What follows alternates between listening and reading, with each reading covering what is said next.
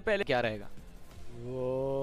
केमिन oh my god topple down Revenant की एक दिन के अंदर अगर दो चिकन आएँगे तो यही होगा ना क्योंकि बेसमेंट पॉइंट से इन्होंने दुनिया हरा दी है भाई।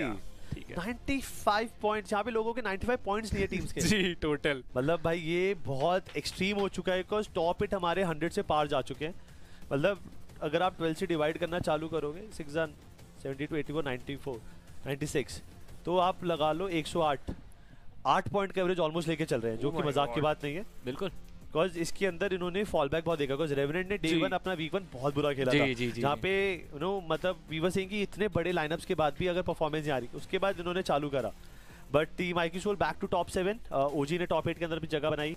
लेकिन चलिए अगले पेज की तरफ़ बढ़ते जहाँ पे अलीबाबा रेडर्स आई थिंक आज के परफॉर्मेंस से ये टीम होगी जो ना खुश है थोड़ा।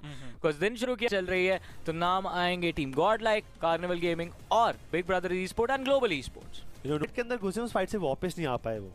बिल्कुल अब चलिए तीसरा पन्ना हमारी ओवरऑल रैंकिंग्स का सामने रिवील होता हुआ जहाँ पे टीम टुगेदर ई स्पोर्ट्स नज़र आएगी। इनके लिए भी एक डाउनफॉल रहा है। आज का दिन तेरहवें Yes. पायदान पे स्टार्ट किया था सत्रहवें पे।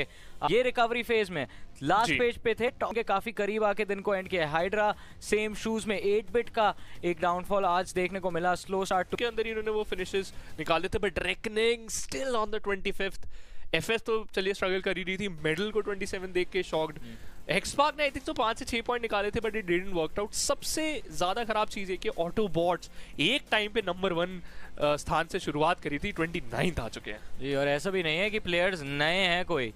बहुत एक्सपीरियंस प्लेयर्स हैं। इनको काफ़ी लंबे अरसे से हम खेलते हुए